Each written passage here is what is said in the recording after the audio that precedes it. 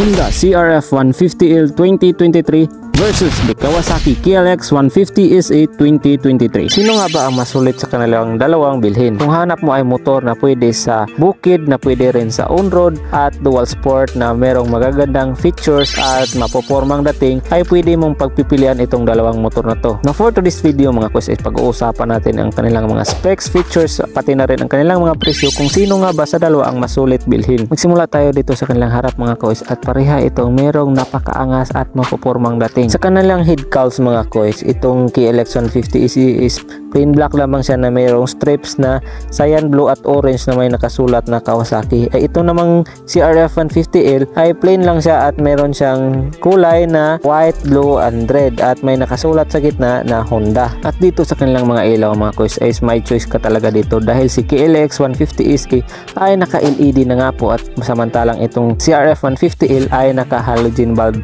pa rin. At pagdating naman sa kanilang signal lights itong Kawasaki KLX 150 SE ay naka round shape po siya na orange samantalang si CRF 150L 2023 ay nakapatulis na po ang kanyang signal lights at naka clear lens na nga po ito. Sa kanilang front fender naman ay may choice ka talaga dito kung ano ang mas type mo dahil yung KLX 150 SE ay meron po siyang napaka edge na uh, design. Samantalang yung CRF 150L ay parang pa-curve lang talaga siya. Pero mas naaangasan ko dito sa KLX 150 SE pero depende na lang yan sa iyo kung ano ang mas type mo. Sa front suspension naman para ay pareha silang merong inverted fork na naka gold plated pero itong CRF 150L ay meron po itong 37mm in diameter na merong 225mm na travel. Samantalang si KLX 150 SE ay meron po siyang 35mm in diameter at merong 185mm na travel. At pareho na nga po silang merong front fork cover. Pero itong si RF 150L yung kanyang fork cover ay same color lang din sa kanyang front fender. Samantalang itong KLX 150 SE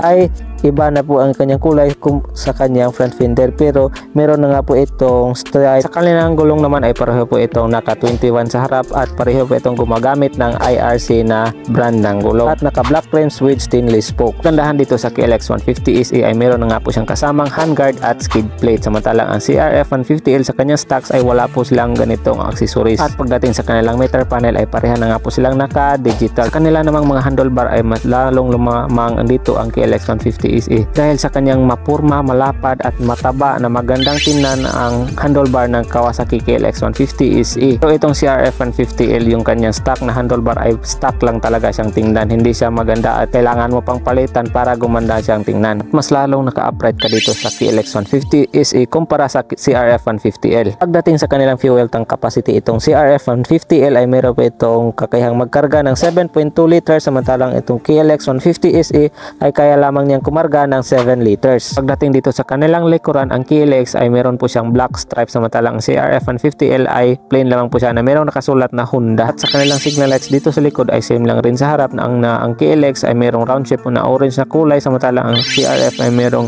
patulis na clear lens. Kanila namang tail light ay pareha lamang po silang naka bulb type. At may napapansin lang ako dito sa KLX 150 SE dahil yung kanyang rear fender ay maiksi na nga po kumpara sa CRF 150L. Ang kagadahan lang dito sa CRF 150L pagdating sa putikan ay hindi ka mas lalong nakatalsikan ng putik pero mas maangas tingnan yung mas maiksi na rear fender ng KLX 150 SE. Pareho din silang merong reflector dito sa rear fender at merong plate light. Pareho din silang merong 18 size na gulong dito sa likod at merong black rims na may stainless spoke. Kung sa engine naman ang pag-uusapan ay pareho po silang merong 4-stroke 2-valve single cylinder na naka-air cooled na may single overhead cam. Sa engine displacement naman ay dito sila nagkakatalo dahil ang CRF 150L ay merong engine displacement na 149cc samantalang ang KLX 150 SE ay mayroong engine displacement na 144cc. Ang CRF 150L ay may kakayahang maglabas na maximum power of 12.2 horsepower at 8,000 RPM samantalang ang KLX 150 SE ay may kakayahang maglabas ng maximum power of 11.52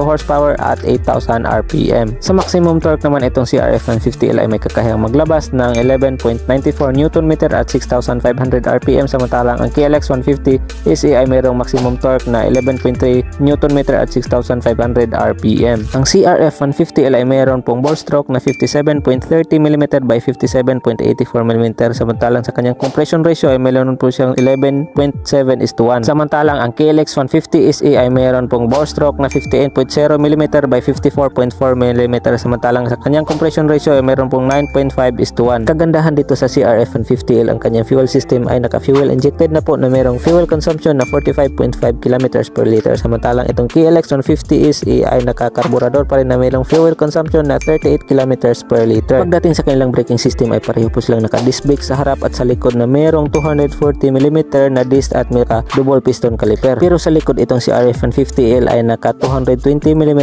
na mayroong single piston caliper samantalang itong KLX 150 SE ay naka 190mm lamang naka, naka single piston caliper. Pero mas magaan na nga po itong Kawasaki KLX 150 SE kumpara sa CRF 150L dahil ang CRF 150L ay may timbang na 122 kg samantalang itong KLX 150 ay may timbang na 118 kg. At pagdating sa presyo ay dito talaga tayo nagkakatalo dahil ang CRF 150L ay mayroong presyo na tumataginting na 147,900. Samantalang itong Kawasaki KLX 150 SE ay mayroon lamang po siyang presyo na 134,800. So makikita natin na mas mura talaga ang KLX 150 SE kumpara sa CRF 150L. At ngayong alam mo na yung kanilang specs and features, yung kanilang differences ay depende na lang sa iyo kung ano ang mas pipiliin mo, kung ano ang mas gusto mo na specs sa motor. At kung nakatulong itong video na to sa iyo mga koys ay huwag kalimutang mag-subscribe at mag-click sa notification bell para maging updated kayo sa mga susunod na video na gagawin natin patungkol sa mga motorsiklo. Kung may gusto kayong motor na gagawin natin ng review or gagawa natin ng comparison ay mag-comment lamang po kayo sa comment section para malaman natin at magagawa natin ng video. Yun lamang po mga koys. This is RG Koy TV and right always God bless.